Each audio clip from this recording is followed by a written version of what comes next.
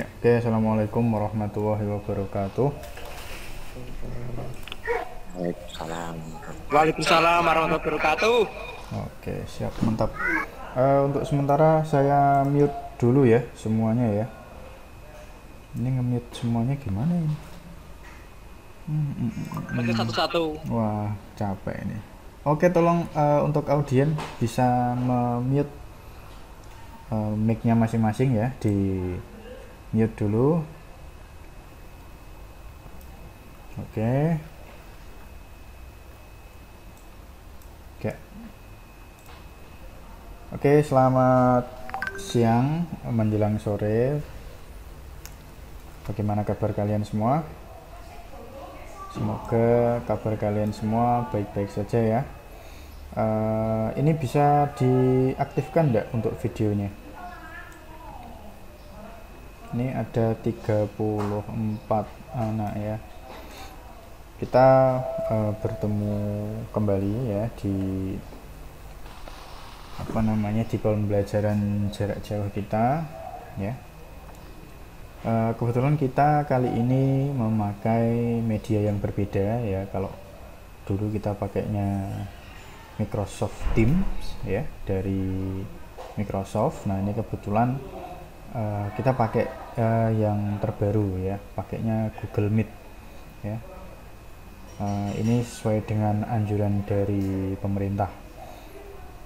Jadi uh, ini juga saya termasuk uh, uji coba ya bagaimana kelancaran dari Google Meet ini ya nanti setelah kita nanti setelah kita apa namanya selesai uh, PJJ ini ya tatap muka ini uh, nanti saya akan mengirimkan sebuah angket ya silahkan nanti diisi. Uh, bagaimana tentang uh, apa namanya fitur dari Google Meet ini untuk PJJ apakah bagus ya atau tidak? Silahkan nanti diisi sesuai dengan uh, hati nurani masing-masing ya tidak usah nyontek sama temennya ya Duh, ini Albert kok ada dua ya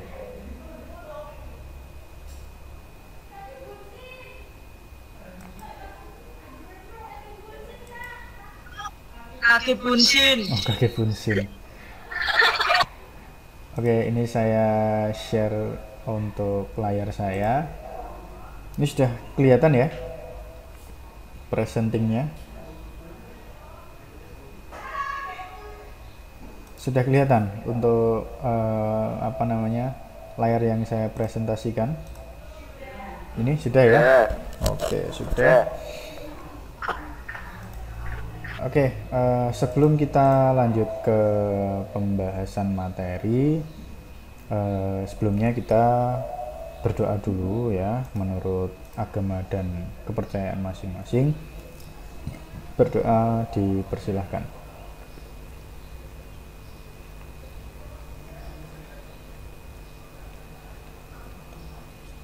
Amin. Oke, ya. Cukup? kita lanjut ke materi ya ya untuk materi kali ini kita akan membahas tentang teknologi jaringan bebas luas ya kita mapelnya kita akan membahas tentang fiber optik ya fiber optik itu apa nah pengertiannya Fiber optik adalah sebuah teknologi kabel ya yang menggunakan serat kaca. Ya. Jadi biasanya kita kabel itu pakai kawat. Ini kita pakainya kaca ya. Jadi kaca yang sangat halus dan lebih kecil dari sehelai rambut ya. Dan dapat digunakan untuk mentransmisikan sinyal cahaya dari suatu tempat ke tempat lain. Ya, jadi biasanya kita pakainya itu kawat ya, kabel UTP tapi ini kita sudah di upgrade ya pakainya kabel fiber ya atau serat kaca sumber cahaya yang digunakan biasanya adalah laser atau LED ya sebagai transmitternya. Jadi eh, apa namanya datanya itu dibawa oleh cahaya ya. Karena cahaya kan cepat ya gerakannya kecepatannya itu tinggi jadi transmisinya juga lebih tinggi. Untuk prinsip kerjanya itu seperti ini ya. Ini dari signal awal ya ini ada berupa data video terus suara voice ini. Ini berupa sinyal elektrik ya di mana sinyal elektrik itu nanti uh, akan dikumpulkan ke sumber optik ini. Jadi dia ke sini sumber optik. Setelah dari sumber optik nanti dia di convert ya dirubah menjadi sinyal optik atau cahaya lalu diteruskan melalui fiber optik ini ya kabel fiber optik terus dia diterima oleh detektor optik ya. Diterima di sini setelah itu dia diproses kembali menjadi sinyal elektrik ya. Menjadi sinyal elektrik berupa data video dan voice ini suara ya. Jadi dari uh, sinyal elektrik diubah ke cahaya ya. Dari cahaya diubah kembali ke signal elektrik. Karena uh, laptop atau komponen alat-alat yang ada sekarang itu belum uh, ada konverter untuk langsung ke serat fiber optik. Mungkin nanti uh, 5 sampai 10 tahun uh, yang akan datang komputer-komputer uh, kita atau laptop-laptop kita itu sudah ada uh, apa namanya uh, alatnya ya jadi bisa tinggal pasang uh, konektornya seperti konektor UTP ya RJ45 itu dicolok ke langsung connect seperti itu ya. Oke untuk selanjutnya adalah struktur kabelnya. Nah struktur kabel yang pertama adalah core atau inti. Merupakan serat kaca yang sangat tipis ya ini menjadi media cahaya ini ya. Jadi core-nya itu segini terus dia ada cladding ya. Cladding ini lapisan luar ya. Lapisan luar pertama yang melindungi inti ya. Jadi dia yang bertugas untuk memantulkan kembali cahaya yang terpancar ya. Jadi eh, cahaya itu kan dia jalannya ke mana-mana ya saat senangnya dewe ya. Jadi tugas cladding ini dia memantulkan cahaya kembali supaya tidak tembus ke luar ya terus selanjutnya adalah coating ya. Coating ini adalah peli hmm, hmm. ini siapa yang non yang uh, nonton ini? Suaranya tembus ini. Ini bisa uh, daily bisa di mute ya di mute manual atau saya remove ini Deli Isyana ini saya kok tidak bisa nge-mute ya sama Novita Novita nanti ini saya bisa mute ya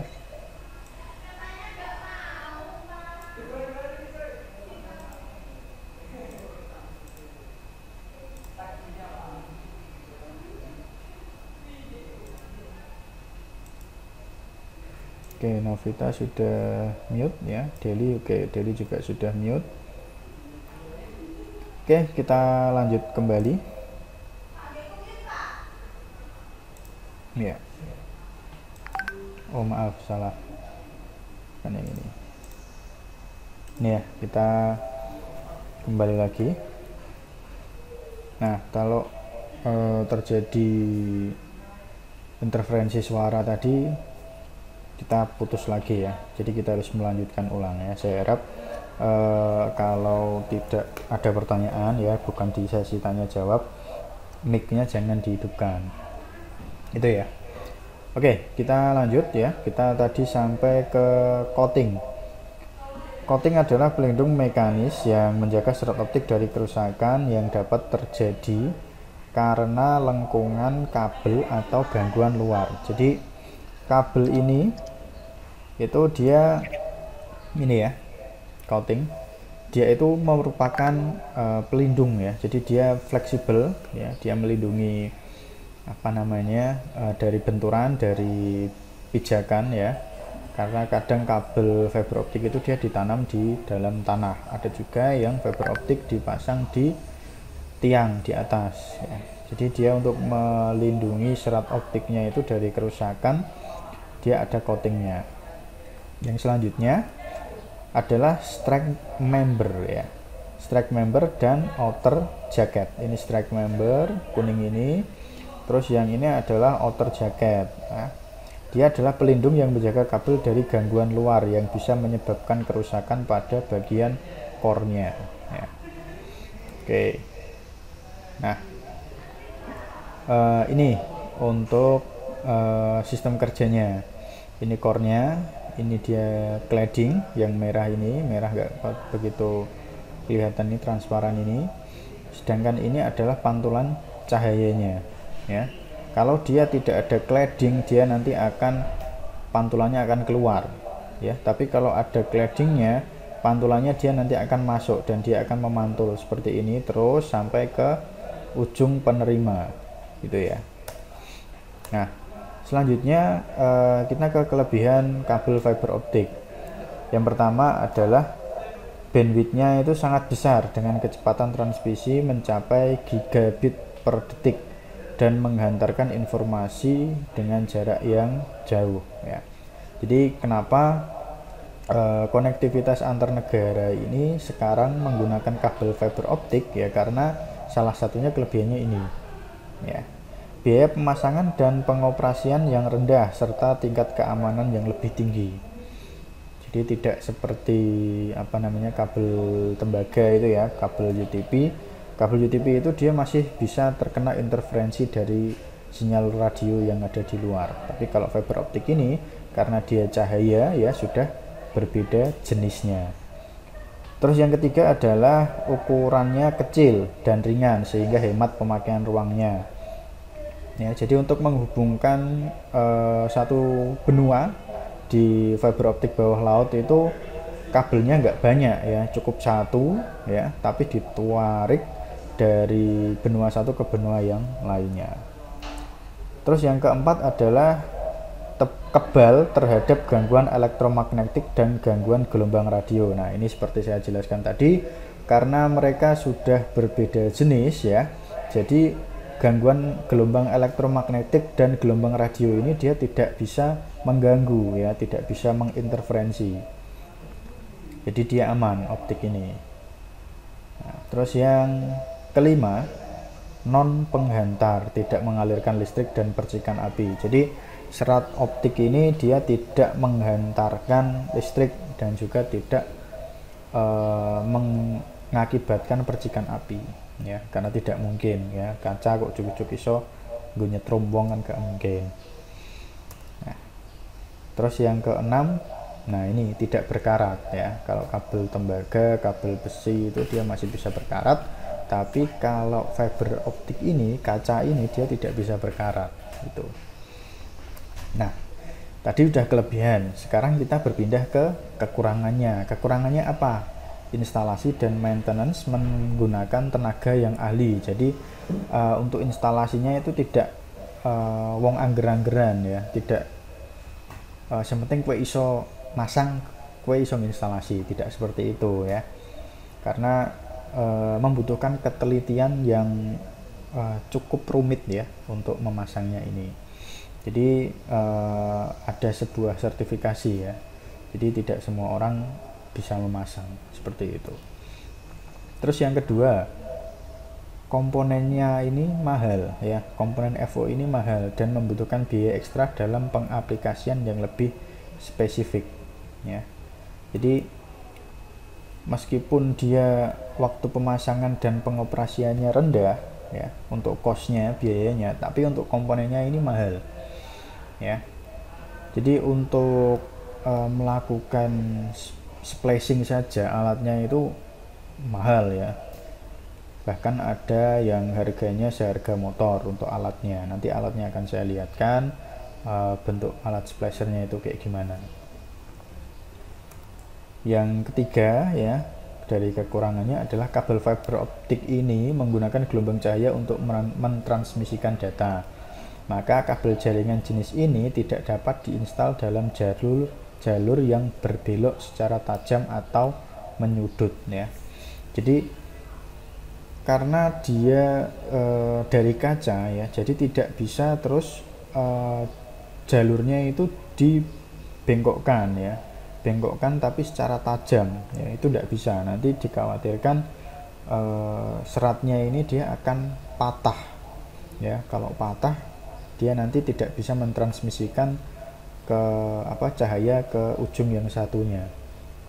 Dan juga uh, dengan adanya tekukan itu dia nanti akan menambah uh, apa namanya pengurangan dari cahaya yang sampai. Ya, jadi kenapa dia tidak boleh ditekuk atau di apa dibelokkan dengan tajam ya seperti itu. Yang selanjutnya uh, adalah jenis kabel fiber optik ya yang pertama adalah step index multimode ya. Step index multimode ini uh, dia memiliki indeks bias konstan ya. Jadi indeks biasnya seperti ini konstan ajak ya. Terus diameter core-nya ini sebesar 50 mikrometer ya. Mikrometer itu kan kecil ya. Milimeter aja kecil ya. Kalau kalian punya garisan di rumah itu milimeter kan kecil. Nah ini dia mikrometer. Cilik mana ya. Sehingga mudah digunakan dalam penyambungan kabel ya. Terus dampak dari besarnya diameter core menyebabkan dispersi ya. Jadi semakin apa namanya dia besar nanti dispersinya semakin besar juga ya banyak baik digunakan untuk data atau informasi dengan kecepatan rendah dan untuk jarak yang relatif dekat. Jadi kalau uh, jaraknya masih dalam lingkup kecil ya kayak satu desa satu gedung itu dia bisa pakai yang multimode ini tidak masalah ya. Nah yang selanjutnya adalah grounded index multimode ya Core kabel ini terdiri dari sejumlah lapisan glass yang memiliki indeks bias yang berbeda. Jadi dia berbeda dengan yang pertama tadi, ya. Dia ini lebih sedikit uh, memutar ya hampir kayak bola ya yang tadi kan mantul kayak segitiga gitu ya bentuknya tapi ini lebih kayak bola indeks bias tertinggi terdapat pada pusat core ya dan berangsur turun sampai ke batas core cladding ya jadi paling tinggi itu di sini terus yang rendah itu di sini. Ya hampir hampir kena claddingnya ini claddingnya akibatnya dispersi waktu berbagai mode cahaya yang merambat ke berkurang sehingga cahaya akan tiba pada waktu yang bersamaan ya. Tidak seperti yang pertama tadi dia kan bebas sak senengnya tapi kalau ini dia uh, apa namanya prosesnya dia lebih uh, tertata gitu ya. Nah yang selanjutnya dispersi minimum ini uh, sehingga baik jika digunakan untuk jarak yang menengah ya. Jadi kalau di atasnya tadi itu baik pakainya yang ini. Diameter core-nya ini 30 mikrometer sampai 60 mikrometer sedangkan diameter cladding itu 100 mikrometer sampai 150 mikrometer ya. Pokoknya antaranya itu ini diambil tengah-tengahnya 50 dan 125 merupakan penggabungan fiber single mode dan fiber multi mode ya. Nah yang selanjutnya adalah step index single mode. Jadi dia langsung uh, ditransmisikan lurus ya. Diameter core lebih kecil antara 2 mikrometer sampai 10 mikrometer ya. Core kecil dan gelombang cahaya tunggal dapat mengurangi dispersi yang diakibatkan uh, oleh overlap cahaya. Ya jadi dia tidak terjadi overlapping dia langsung lurus red sampai ke tujuan ya. cahaya hanya merambat dalam single mode saja yaitu sejajar dengan sumbu serat optik seperti ini. Tidak uh, tidak sama dengan yang multi mode tadi ya mereka akan bertabrakan ya. Tapi kalau ini dia lurus saja. Nah yang ini bisa digunakan untuk transmisi jarak jauh dan dapat digunakan untuk transmisi data dengan bitrate yang tinggi dan bandwidth yang lebar ya. Kemungkinan yang e, kabel yang bawah laut itu dia pakainya yang ini. Seperti itu ya. Itu untuk uh, pengenalan fiber optiknya ya prinsip kerja dan pengertiannya seperti itu. Uh, untuk yang selanjutnya uh, saya akan sedikit menyinggung ke uh, pengenalan material ya. Jadi ini beberapa apa namanya bahan-bahan atau alat yang digunakan untuk fiber optiknya.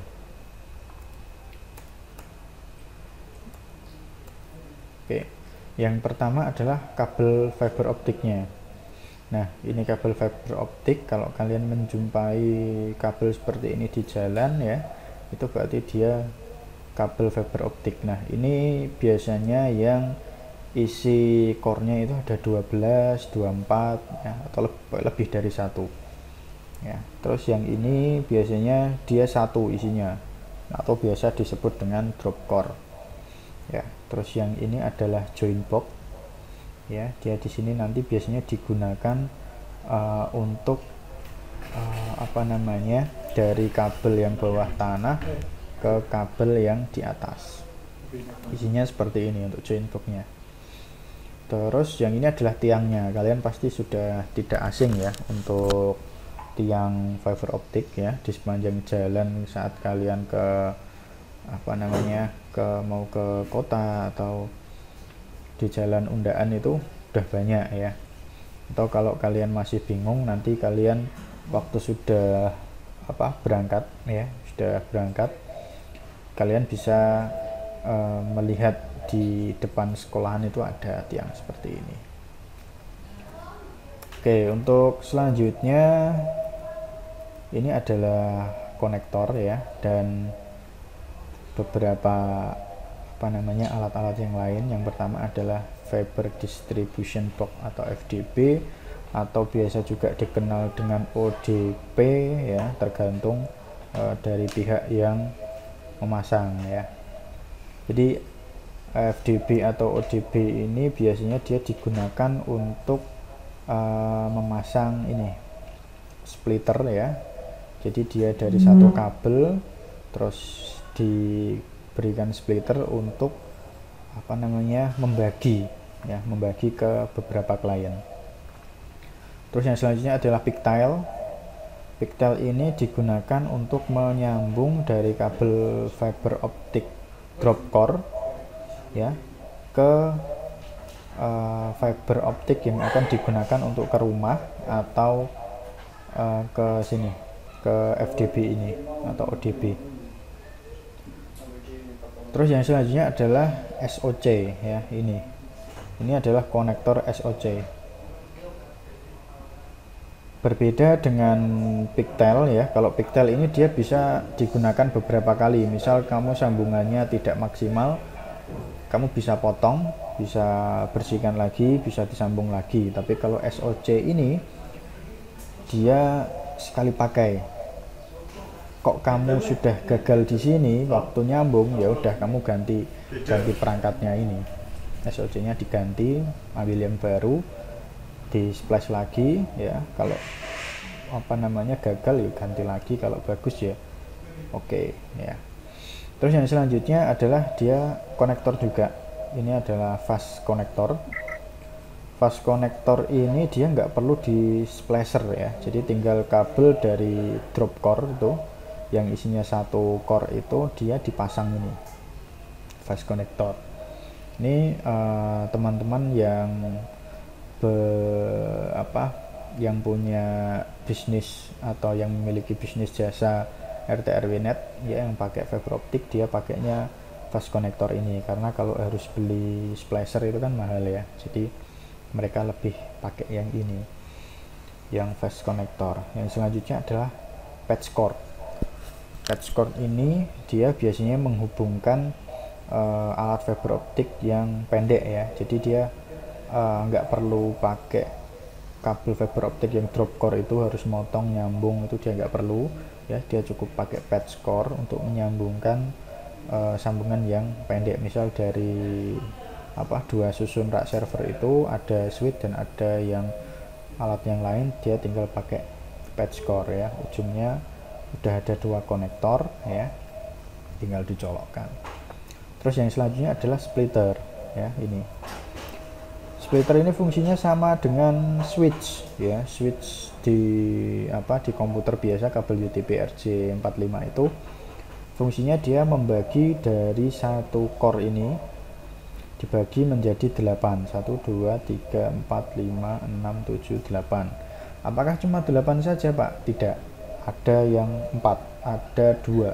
Ada yang nyampe 12 18 ada yang 24 ya. Tergantung uh, splitternya berapa. Yang selanjutnya adalah adapter. Nah adapter ini dia digunakan untuk menyambungkan ya ujung konektor ini ke ujung konektor yang lain ya. Nah terus yang selanjutnya ya ini adalah open atau close rack tapi yang ada di sini adalah close rack ya jadi ini biasanya nanti ditempel di tembok ya nanti di dalamnya di, bisa diisi OTB ini atau diisi switch, diisi router, diisi yang lain-lain ya. Ini dia uh, hanya sebatas wadah ya tempat.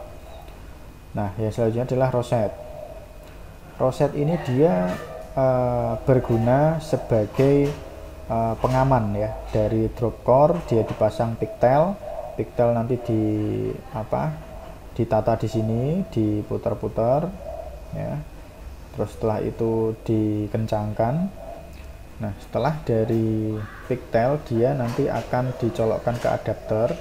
Dari adapter ini dia dicolokkan lagi menggunakan patch cord ya dari patch cord nanti baru dihubungkan ke modem atau ke adapter. Yang selanjutnya adalah optical termination box ya. Ini dia hampir sama uh, apa namanya fungsinya seperti rak ini ya. Dia sebagai tempat dari splitter ya. Dari splitter tadi ada yang beberapa jenisnya ya. Isinya ada yang 8 12 ada yang 16 ada yang 18 dia ditata di sini terus nanti ujung dari masing-masing splitter nanti akan dikonekkan ke masing-masing adapter ini. Setelah dari masing-masing adapter ini dia nanti baru didistribusikan ke masing-masing klien seperti itu. Oke uh, mungkin sampai di sini dulu ya untuk materi kita karena sudah 30 menit ya jadi nggak perlu banyak-banyak uh, untuk yang akan datang nanti kita akan membahas tentang OLT ONU media converter ya Nah, nanti akan kita bahas. Nah, ini saya perlihatkan sedikit tentang uh, alatnya, yaitu Fusion Splicer. Nah, ini Fusion Splicer. Nah, nanti kalian uh, saat sudah di sekolahan ya, semoga saja pandemi ini cepat berlalu. Nanti kita bisa praktek pakai ini alat ini. Kita di sekolah sudah punya dua alat ini ya tinggal alat ini menunggu kalian untuk berangkat nah, seperti itu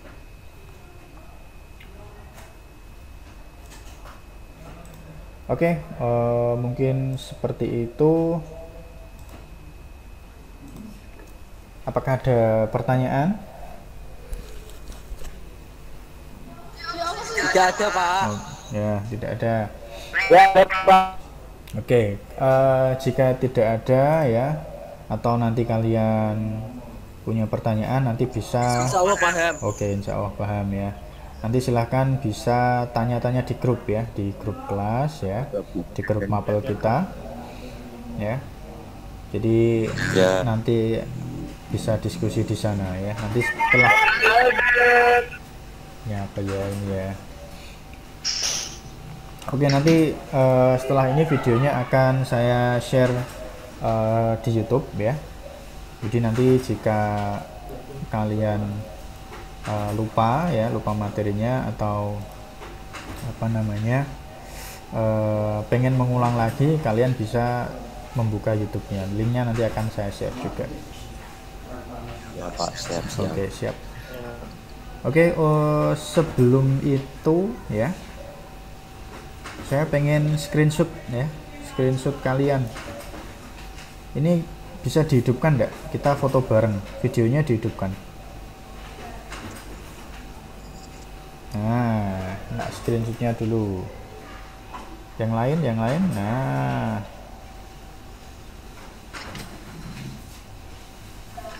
Arfi. yo yang lain mana? Dihidupkan.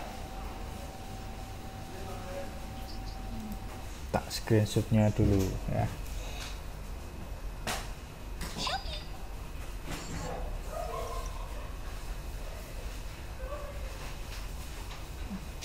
Udah ini aja ini yang mau menampilkan videonya.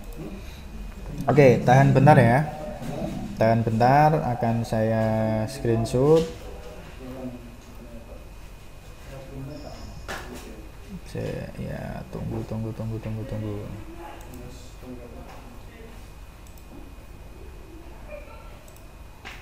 Oke, siap. 3 2 1.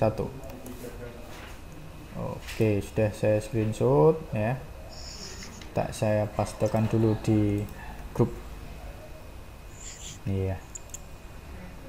Oke, sudah ya. Terima kasih eh, atas waktunya. Eh, sekian eh, materi dari saya. Eh, kurang lebihnya saya mohon maaf. Bila taufik wal hidayah. Wassalamualaikum warahmatullahi wabarakatuh.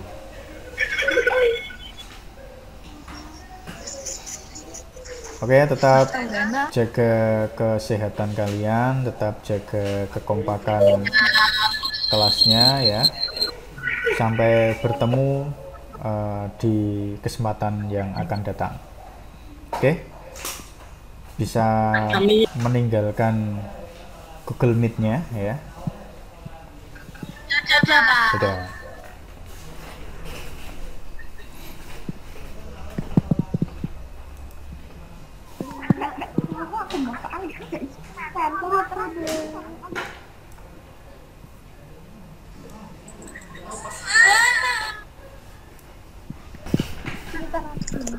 Angger buka linknya.